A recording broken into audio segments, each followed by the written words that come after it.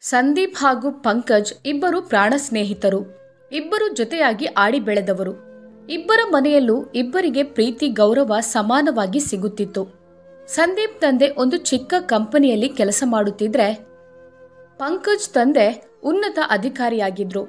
ಪಂಕಜನಿಗೆ ಸಂದೀಪ್ ಕೈರುಚಿ ತುಂಬಾ ಇಷ್ಟ. ಅವನು ಸಂದೀಪ್ ಮನೆಗೆ ಬಂದು ಆಗಾಗ ಬೇಲ್ಪುರಿ ತಿನ್ನುತ್ತಿದ್ದ. ಈಗ ಇಬ್ಬರು ಉನ್ನತ ಶಿಕ್ಷಣಕ್ಕಾಗಿ ಒಳ್ಳೆಯ ಕಾಲೇಜ್ಗೆ ಸೇರಿದ್ರು. ಆದರೆ ಇಬ್ಬರ ಗೆಳೆತನ ಬಾಲ್ಯದಲ್ಲಿ ಇದ್ದಂತೆ ಇತ್ತು ಇಬ್ಬರೂ ಕೂಡ ಒಂದೇ ಕಾಲೇಜಿನಲ್ಲಿ ಬಿಟೆಕ್ ಮಾಡುತ್ತಾರೆ. ಆ ವರ್ಷ ಇಬ್ಬರ ಬಿಟೆಕ್ ಓದು ಪೂರ್ಣಗೊಳ್ಳುತ್ತಿತ್ತು. ಕೆಲವು ದಿನಗಳ ಬಳಿಕ ಪಂಕಜ್ನ ತಂದೆಗೆ ಬೇರೆ ಊರಿಗೆ ವರ್ಗಾವಣೆ ಆಗುತ್ತೆ. ಅವರು ಬೆಂಗಳೂರಿಗೆ ಟ್ರಾನ್ಸ್ಫರ್ ಆಗ್ತಾರೆ. ಅದರಂತೆ ಅವರ ಕುಟುಂಬ ಕೂಡ ಜೊತೆಗೆ ಹೋಗುತ್ತೆ.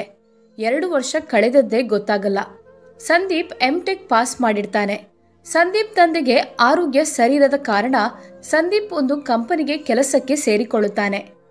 ಸಂದೀಪ್ನ ತಂದೆ ತಾಯಿ ಬಹುಬೇಗನೆ ಸಂದೀಪನಿಗೆ ಮದುವೆ ಮಾಡುತ್ತಾರೆ. ಸಂದೀಪ್ ಮದುವೆ ನಂತರ ದುಃಖದ ಕಡಲೆ ಹರಿಯುತ್ತೆ. ಕೆಲವೇ ದಿನಗಳಲ್ಲಿ ಸಂದೀಪ್ ತಂದೆ ತೀರಿ ಹೋಗುತ್ತಾರೆ. ತಂದೆಯ ಸಾವಿನ ನೋವಿನಿಂದ ಹೊರಬರೋ ಮುಂಚೆನೆ ಸಂದೀಪನ ತಾಯಿ ಕೂಡ ಹೃದಯಾಘಾತದಲ್ಲಿ ತೀರಿಕೊಂಡು ಬಿಡುತ್ತಾರೆ. ಇದರಿಂದ ಸಂದೀಪ್ ತುಂಬಾ ನೊಂದು ಜೀವನದಲ್ಲಿ ಹತಾಶೆ ಮೂಡಿರುತ್ತೆ. ಅದರ ಜೊತೆಗೆ ಇನ್ನೊಂದು ಹೊಡೆತ. ಅದೇನಂದ್ರೆ, ಸಂದೀಪ್ ಕೆಲಸ ಮಾಡೋ ಕಂಪನಿ ಇದ್ದಕ್ಕಿದ್ದಂತೆ ಬಂದ್ ಆಗುತ್ತೆ. ಒಂದರ ಮೇಲೊಂದು ಒಂದು ಕೆಟ್ಟ ಹೊಡೆತಗಳಿಂದ ಸಂದೀಪ್ ಜಿಗುಪ್ಸೆಗೊಂಡು ಮನೆ ಹಾಗೂ ಊರನ್ನೇ ಬಿಟ್ಟು ಹೋಗುವುದಾಗಿ ತೀರ್ಮಾನ ಮಾಡುತ್ತಾನೆ. ಬೇರೆ ಊರಿಗೆ ಹೋದ ನಂತರ ಯಾವುದೋ ಒಂದು ಕಂಪನಿಯಲ್ಲಿ ಮೊದಲಿಗೆ ತನಗೊಂದು ಕೆಲಸ ಹುಡುಕುತ್ತಾನೆ. ಹೊಸ ಕಂಪನಿಯಲ್ಲಿ ಕೆಲಸಕ್ಕೆ ಸೇರಿಕೊಳ್ಳುತ್ತಾನೆ. ಈಗ ಮೆಲ್ಲ ಮೆಲ್ಲನೆ ಅವನ ಜೀವನ ಸುಧಾರಣೆಗೊಂಡು ಸಾಮಾನ್ಯ ಮಟ್ಟಕ್ಕೆ ಬಂದಿತ್ತು. ಸ್ವಲ್ಪ ದಿನಗಳ ನಂತರ ಅವನಿಗೆ ಒಬ್ಬ ಪುತ್ರನ ಜನನವಾಗುತ್ತೆ. ಸಂದೀಪ್ ತನ್ನ ಪತ್ನಿ ಹಾಗೂ ಮಗನ ಜೊತೆ ಖುಷಿಯಾಗಿದ್ದ. ಹೀಗಿದ್ದಾಗ ಒಂದು ದಿನ ಸಂದೀಪ್ ಕೆಲಸಕ್ಕೆಂದು ಹೋದಾಗ ಸ್ಟ್ರೈಕ್ ಹೆಸರಲ್ಲಿ ಕಂಪನಿಗೆ ಬೀಗ ಹಾಕಲಾಗಿತ್ತು.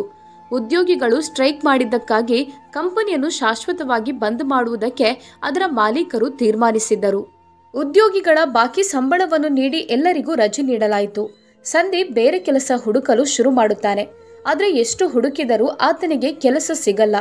ಮನೆಯಲ್ಲಿ ಒಂದು ಹೊತ್ತಿನ ಊಟಕ್ಕೂ ಪರದಾಡುವಂತಾಯಿತು. ಅದೇ ಸಮಯದಲ್ಲಿ ಸಂದೀಪನ ಮಗನಿಗೆ ಜ್ವರ ಬರುತ್ತೆ. ಚಿಕಿತ್ಸೆಗೆ ತನ್ನ ಪತ್ನಿಯ ಕಿವಿಯೋಲೆ ಮಾರಬೇಕಾಯಿತು. ಈಗ ಸಂದೀಪನ ಮನೆಯ ಪರಿಸ್ಥಿತಿ ದಿನದಿಂದ ದಿನಕ್ಕೆ ಶೋಚನೀಯ ಸ್ಥಿತಿಗೆ ಹೋಗ್ತಾ ಇತ್ತು ಸಂದೀಪನ ವ್ಯವಹಾರ ಹಾಗೂ ವ್ಯಕ್ತಿತ್ವ ಎಲ್ಲರಿಗೂ ಇಷ್ಟವಾಗಿತ್ತು. ಸಾಲ ಜಾಸ್ತಿ ಆಗುತ್ತಾ ಹೋದ್ರೂ ಅದರ ಚಿಂತೆ ಮಾಡದೆ ಅಂಗಡಿಯವ ಸಾಮಗ್ರಿ ಕೊಡುತ್ತಲೇ ಇದ್ದ. ಆದರೆ ಸಂದೀಪನಿಗೆ ಮತ್ತೆ ಮತ್ತೆ ಸಾಲ ಮಾಡೋಕೆ ನಾಚಿಕೆ ಹಾಗೂ ಸಂಕೋಚವಾಗ್ತಿತ್ತು.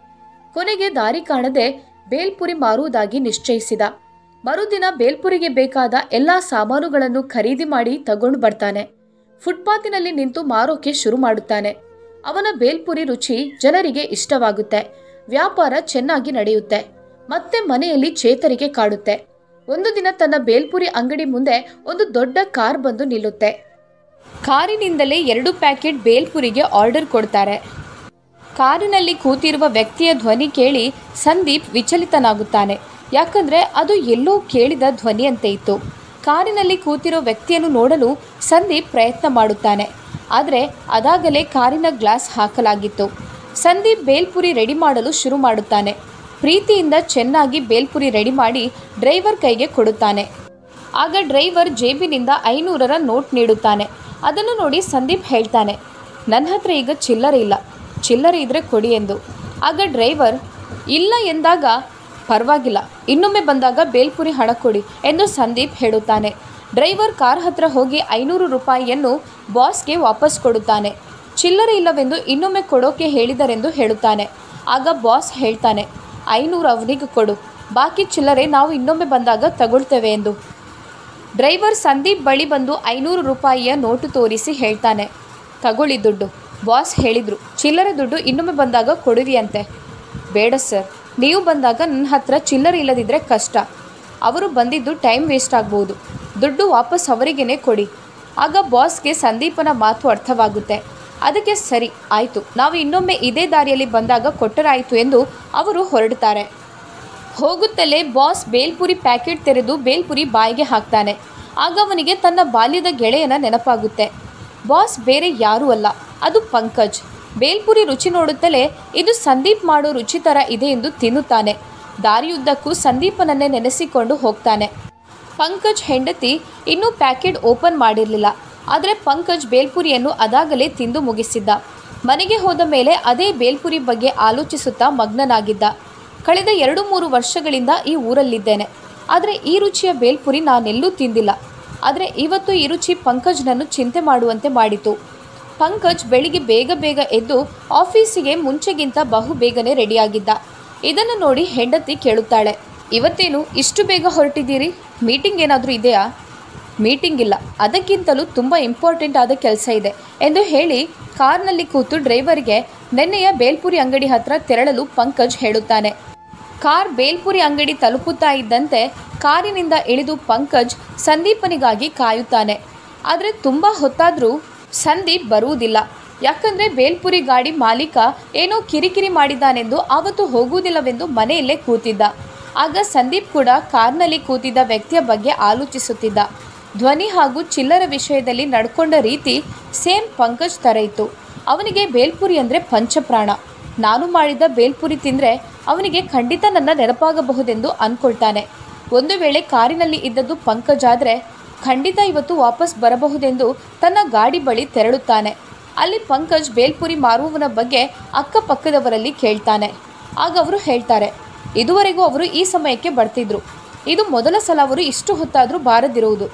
ಪಂಕಜನಿಗೆ ಆಫೀಸಿಗೆ ಲೇಟ್ ಆಗಿತ್ತು ಆಫೀಸಿನಿಂದ ಆಗಾಗ ಕರೆ ಬರ್ತಿತ್ತು. ಪಾಪ.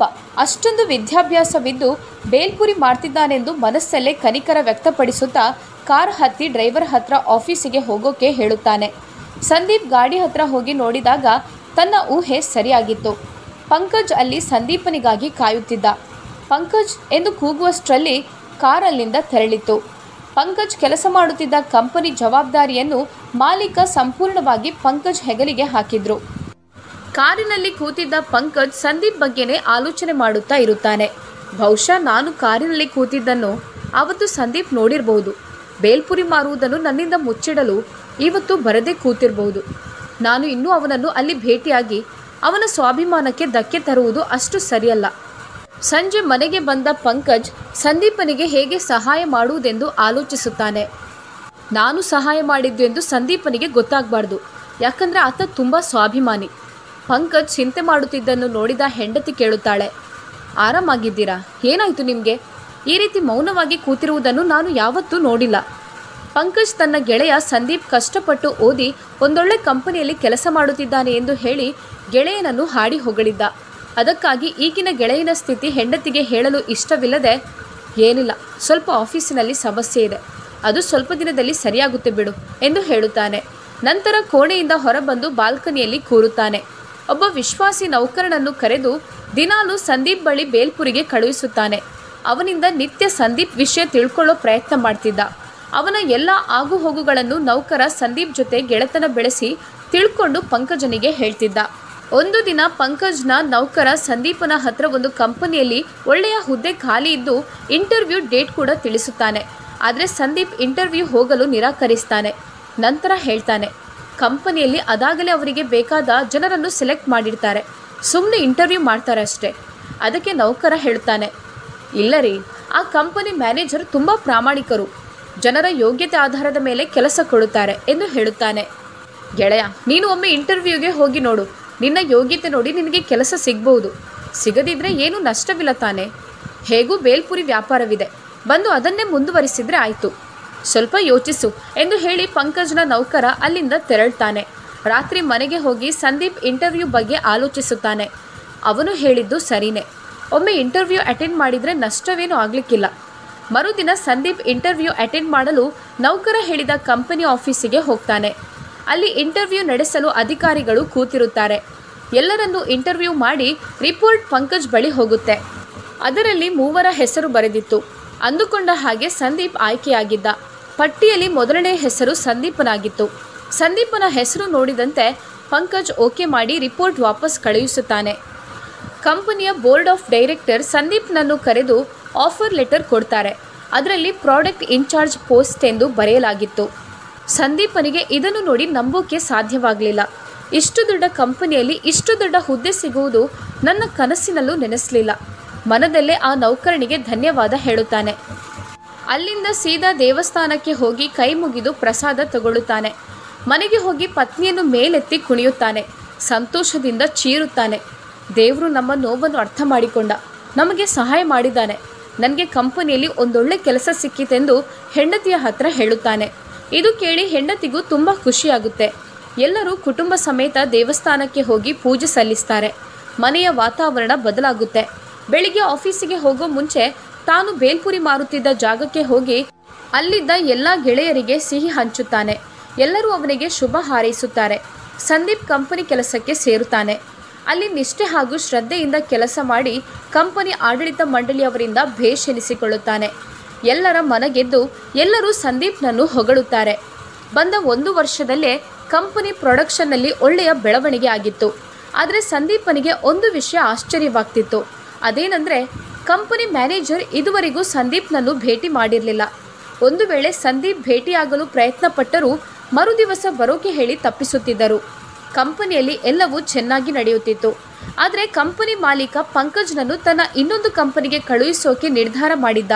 ಯಾಕಂದರೆ, ಆ ಕಂಪನಿ ಅಷ್ಟೇನು ಚೆನ್ನಾಗಿ ನಡೀತಾ ಇರಲಿಲ್ಲ. ಆದರೆ ಪಂಕಜ್ ಸಂದೀಪನನ್ನು ಪೂರ್ತಿಯಾಗಿ ಸೆಟ್ ಮಾಡದೆ ಇಲ್ಲಿಂದ ಹೋಗೋಕೆ ತಯಾರಿರಲಿಲ್ಲ. ಆದರೆ ಈಗ ಸಂದೀಪ್ ಎಲ್ಲ ರೀತಿಯಲ್ಲೂ ಫಿಟ್ ಆಗಿದ್ದ. ಅದಕ್ಕೆ ಮಾಲೀಕ ಹೇಳಿದಂತೆ ಇನ್ನೊಂದು ಕಂಪನಿಗೆ ಹೋಗುವುದಾಗಿ ಒಪ್ಪಿಕೊಳ್ಳುತ್ತಾನೆ. ಇದರಿಂದ ಸಂದೀಪನಿಗೆ ಇನ್ನೂ ಅನುಕೂಲವಾಗುತ್ತೆ. ಒಂದಲ್ಲ ಒಂದು ದಿನ ನಾನು ಸಂದೀಪ್ನನ್ನು ಭೇಟಿಯಾಗಲೇಬೇಕು. ಅದು ಅಲ್ಲದೆ ನಾನು ಇಲ್ಲಿಂದ ಹೋದರೆ ಸಂದೀಪ್ ಕೆಲಸ ನೋಡಿ ಮಾಲೀಕ ನನ್ನ ಹುದ್ದೆಯನ್ನು ಸಂದೀಪನಿಗೆ ನೀಡಲೂಬಹುದು. ಅದಕ್ಕಾಗಿ ನಾನು ಇಲ್ಲಿಂದ ಹೊರಡಲೇಬೇಕೆಂದು ತೀರ್ಮಾನ ಮಾಡುತ್ತಾನೆ. ಹೋಗುವಾಗ ಕಂಪನಿ ಮಾಲೀಕನ ಬಳಿ ತನ್ನ ಸ್ಥಾನಕ್ಕೆ ಸಂದೀಪನನ್ನು ಸೂಚಿಸಿ ಹೋಗುತ್ತಾನೆ. ಪಂಕಜ್ ಹೋದ ನಂತರ ಪಂಕಜ್ನ ಸೂಚನೆಯಂತೆ ಸಂದೀಪನನ್ನು ಕಂಪನಿ ಜನರಲ್ ಮ್ಯಾನೇಜರ್ ಆಗಿ ಮುಂಬಡ್ತಿ ನೀಡ್ತಾರೆ. ಈ ವಿಷಯ ತಿಳಿದು ಸಂದೀಪನಿಗೆ ಖುಷಿಯಾಗುತ್ತೆ. ಅದರ ಜೊತೆಗೆ ವಿಚಿತ್ರ ಅನಿಸುತ್ತೆ.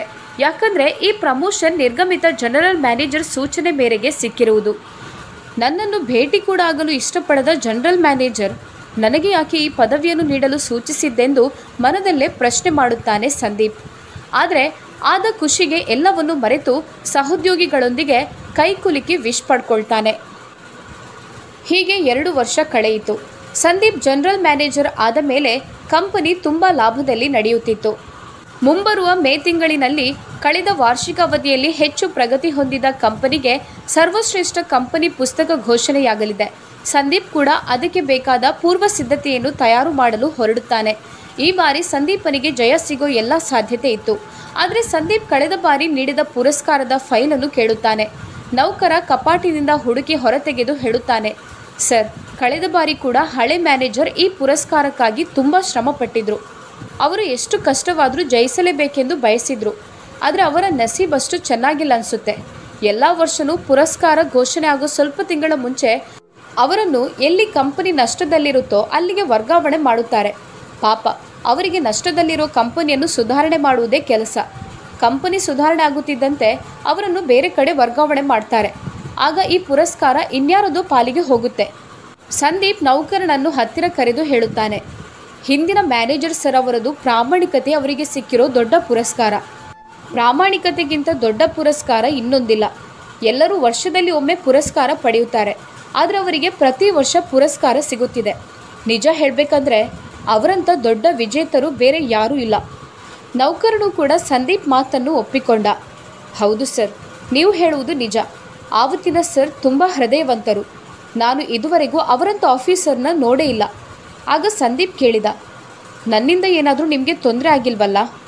ಅದಕ್ಕೆ ನೌಕರ ಹೇಳ್ತಾನೆ. ಇಲ್ಲ ಸರ್, ನೀವು ಕೂಡ ತುಂಬ ಒಳ್ಳೆಯವರು. ಆಗ ಸಂದೀಪ್ ನಗುತ್ತಾ ಹೇಳ್ತಾನೆ. ಹೇ, ನಾನು ತಮಾಷೆಗೆ ಕೇಳಿದಷ್ಟೆ. ಹೀಗೆ ಸಮಯ ಸಾಗುತ್ತಲಿತ್ತು. ಆ ದಿನ ಬಂದೇ ಬಿಡ್ತು.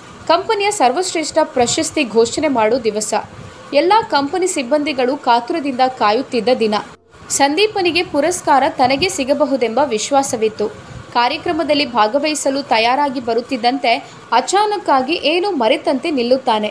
ಮತ್ತೆ ಸೀದಾ ವಾಪಸ್ ಆಫೀಸ್ ಕಡೆ ಹೋಗಿ ಏನೋ ಕಾಗದ ಪತ್ರಕ್ಕಾಗಿ ಆಫೀಸಿನ ಒಳಗಡೆ ಹೋಗಿ ಕಪಾಟಿನಲ್ಲಿ ಹುಡುಕುತ್ತಾನೆ. ಹುಡುಕೋ ಸಮಯದಲ್ಲಿ ಅವನ ಕೈಗೆ ಒಂದು ಫೋಟೋ ಸಿಗುತ್ತೆ. ಅದನ್ನು ನೋಡಿ ಸಂದೀಪನಿಗೆ ಆಶ್ಚರ್ಯವಾಗುತ್ತೆ. ಯಾಕಂದರೆ ಅದು ಅವನ ಕಾಲೇಜು ಸಮಯದಲ್ಲಿ ತೆಗೆಸಿದ ಫೋಟೋ. ಈಗ ಸಂದೀಪನಿಗೆ ಅರ್ಥವಾಗುತ್ತೆ. ಯಾಕೆ ಮ್ಯಾನೇಜರ್ ನನ್ನನ್ನು ಇದುವರೆಗೂ ಭೇಟಿಯಾಗಲು ನಿರಾಕರಿಸಿದ್ದೆಂದು. ಪಂಕಜ್ ಇಲ್ಲಿನ ಜನರಲ್ ಮ್ಯಾನೇಜರ್ ಆಗಿದ್ದ. ಅವನು ಬೇಕೆಂದೇ ನನಗೆ ಸಿಗ್ತಾ ಇರಲಿಲ್ಲವೆಂದು ಎಲ್ಲ ತಿಳಿಯುತ್ತೆ. ಇದನ್ನೆಲ್ಲ ಮನವರಿಕೆ ಮಾಡಿಕೊಂಡ ಸಂದೀಪ್ ಗೆಳೆಯನ ಸ್ನೇಹಕ್ಕೆ ಮರುಗಿ ಕಣ್ಣೀರಾಗ್ತಾನೆ. ಅಷ್ಟೊತ್ತಿಗೆ ಅಲ್ಲಿಗೆ ನೌಕರ ಬಂದು, ಸರ್, ನಮಗೆ ಲೇಟ್ ಆಗ್ತಿದೆ. ನಾವು ಹೋಗೋಣವೆಂದು ಸಂದೀಪನಿಗೆ ಹೇಳುತ್ತಾನೆ. ಆಗ ಸಂದೀಪ್ ಹೇಳ್ತಾನೆ ನೀನು ಗಾಡಿ ತಗೊಂಡು ಹೋಗು, ನಾನು ಬರ್ತೇನೆ. ನೌಕರ ಹೋದ ಮೇಲೆ ಕಣ್ಣೀರು ಒರೆಸಿ ಸಂದೀಪ್ ಹೊರಬರುತ್ತಾನೆ. ನಂತರ ಕಾರಲ್ಲಿ ತೆರಳುತ್ತಾನೆ. ವಾರ್ಷಿಕ ಕಾರ್ಯಕ್ರಮಕ್ಕೆ ಹೋಗಿ ಈ ವರ್ಷ ಯಾವ ಕಂಪನಿ ಟಾಪ್ನಲ್ಲಿದೆ ಎಂದು ತಿಳ್ಕೊಳ್ತಾನೆ. ಆಗ ಅವನಿಗೆ ತಿಳಿಯುತ್ತೆ, ಈ ಬಾರಿ ಕೇವಲ ಎರಡೇ ಕಂಪನಿ ಹೆಸರು ಅಲ್ಲಿದೆ. ಅದರಲ್ಲಿ ಒಂದು ತನ್ನದು, ಇನ್ನೊಂದು ಪಂಕಜ್ನದ್ದು. ಇದನ್ನು ಕೇಳಿ ಸಂದೀಪನಿಗೆ ತುಂಬ ಬೇಸರವಾಗುತ್ತೆ. ಅವನು ನೇರವಾಗಿ ನಿರ್ಣಾಯಕರ ಕೊಠಡಿಗೆ ತೆರಳಿ ಅವರ ಹತ್ರ ತನ್ನ ಹೆಸರನ್ನು ಲಿಸ್ಟಿನಿಂದ ವಾಪಸ್ ತೆಗೆಯುವಂತೆ ಹೇಳುತ್ತಾನೆ. ಆದರೆ ನಿರ್ಣಾಯಕರು ಸಂದೀಪನ ಮನವಿಯನ್ನು ಒಪ್ಪಿಕೊಳ್ಳೋದಿಲ್ಲ. ಇದರಿಂದ ಸಂದೀಪ್ ಅಳುತ್ತಾ, ಅವನು ಬರೇ ಗೆಳೆಯಲ್ಲ. ನನ್ನ ಪಾಲಿನ ದೇವರವನು ನನ್ನ ಗೆಳೆಯನ ಜೊತೆ ನನಗೆ ಪೈಪೋಟಿ ಮಾಡಲು ಸಾಧ್ಯವಿಲ್ಲ. ದಯವಿಟ್ಟು ನನ್ನ ಹೆಸರನ್ನು ತೆಗೆದುಬಿಡಿ ಎಂದು ರಿಕ್ವೆಸ್ಟ್ ಮಾಡುತ್ತಾನೆ. ನಿರ್ಣಾಯಕ ಮಂಡಳಿಯವರು ಸಂದೀಪನನ್ನು ಹೊರಗೆ ಕಳುಹಿಸುತ್ತಾರೆ. ಅಲ್ಲಿದ್ದವರಿಗೆ ವಿಶ್ವಾಸ ಆಗುತ್ತಾ ಇರಲಿಲ್ಲ. ಇಂತಹ ಗೆಳೆಯರು ಇರ್ತಾರಾ. ಕಥೆಗಳಲ್ಲಿ, ಸಿನಿಮಾದಲ್ಲಿ ನೋಡಿದ್ವಿ. ಆದರೆ ನಿಜ ಜೀವನದಲ್ಲಿ ಈ ತರಹದ ಗೆಳೆಯರು ಇರ್ತಾರೆಂದರೆ ಅದ್ಭುತವೇ ಸರಿ. ಯಾಕಂದರೆ ಸ್ವಲ್ಪ ಹೊತ್ತಿನ ಮುಂಚೆಯಷ್ಟೇ ಸಂದೀಪ್ ಮಾಡಿದ ಹಾಗೆ ಪಂಕಜ್ ಕೂಡ ಬಂದು ತನ್ನ ಹೆಸರನ್ನು ವಾಪಸ್ ತೆಗೆಯೋಕೆ ಮನವಿ ಮಾಡಿದ್ದ. ಸಂದೀಪ್ ಹಾಗೂ ಪಂಕಜ್ ಇಬ್ಬರು ತಮ್ಮ ತಮ್ಮ ಕಾರಲ್ಲಿ ಹೋಗಿ ಕೂತಿರ್ತಾರೆ. ಇಬ್ಬರು ಕೂಡ ಸಭೆಯಲ್ಲಿ ತನ್ನ ಗೆಳೆಯನ ಹೆಸರು ಅನೌನ್ಸ್ ಆಗಲೆಂದು ಕಾಯುತ್ತಿರುತ್ತಾರೆ. ಹೆಸರು ಕೇಳಿದ ತಕ್ಷಣ ಮನೆಗೆ ಹೋಗೋದಾಗಿ ತೀರ್ಮಾನಿಸಿ ಕಾರಲ್ಲೇ ಇಬ್ಬರು ಕೂತಿದ್ರು. ಆದರೆ ಇದೇನು? ಈ ಬಾರಿ ನಿರ್ಣಾಯಕ ಮಂಡಳಿಯು ಎರಡು ಕಂಪನಿಯನ್ನು ಸರ್ವಶ್ರೇಷ್ಠ ಪ್ರಶಸ್ತಿಗೆ ಆಯ್ಕೆ ಮಾಡಿದ್ದಾಗಿ ಅನೌನ್ಸ್ ಮಾಡಿತ್ತು. ಸ್ಟೇಜ್ ಮೇಲೆ ಇಬ್ಬರ ಹೆಸರು ಅನೌನ್ಸ್ ಆಗುತ್ತಿದ್ದಂತೆ ಇಬ್ಬರು ಶಾಕ್ ಆಗ್ತಾರೆ. ಇವತ್ತು ಇಬ್ಬರಿಗೂ ಪರಸ್ಪರ ಭೇಟಿಯಾಗಬೇಕಾದ ಅನಿವಾರ್ಯತೆ ಬಂದುದಗಿತು. ಅದು ಅಲ್ಲದೆ ಸ್ಟೇಜ್ನಲ್ಲಿ ಇವರಿಬ್ಬರ ಗೆಳೆತನದ ಬಗ್ಗೆ ಹೇಳಲಾಯಿತು. ಸ್ನೇಹಿತರೆಂದರೆ ಇವರು. ಒಬ್ಬರಿಗೊಬ್ಬರು ಪ್ರಾಣ ಕೊಡಲು ಸಿದ್ಧರಿದ್ದಾರೆ. ಸ್ಟೇಜ್ ಮೇಲೆ ಬಂದ ಸಂದೀಪ್ ಹಾಗೂ ಪಂಕಜ್ ಒಬ್ಬರಿಗೊಬ್ಬರು ತಬ್ಬಿಕೊಂಡು ಕಣ್ಣೀರು ಹಾಕಿದ್ರು. ಇವರ ಗೆಳೆತನ ನೋಡಿ ಅಲ್ಲಿದ್ದವರ ಕಣ್ಣು ನೆನೆದಿತ್ತು. ನೆರೆದಿದ್ದವರು ಇವರಿಬ್ಬರ ಪ್ರೀತಿ ಹಾಗೂ ಸ್ನೇಹ ನೋಡಿ ಚಪ್ಪಾಳೆ ಹೊಡೆದು ಸಿಳ್ಳೆ ಹಾಕಿದ್ರು. ಕೊನೆಗೆ ಅವರಿಗೆ ಸರ್ವಶ್ರೇಷ್ಠ ಪ್ರಶಸ್ತಿ ನೀಡಿ ಗೌರವಿಸಲಾಯಿತು. ಈ ಕತೆ ನಿಮಗೆ ಇಷ್ಟ ಆಗಿದ್ದಲ್ಲಿ ಲೈಕ್ ಮಾಡಿ, ಶೇರ್ ಮಾಡಿ, ಕಾಮೆಂಟ್ ಮೂಲಕ ನಿಮ್ಮ ಅಭಿಪ್ರಾಯವನ್ನು ನಮಗೆ ತಿಳಿಸಿ. ಧನ್ಯವಾದಗಳು.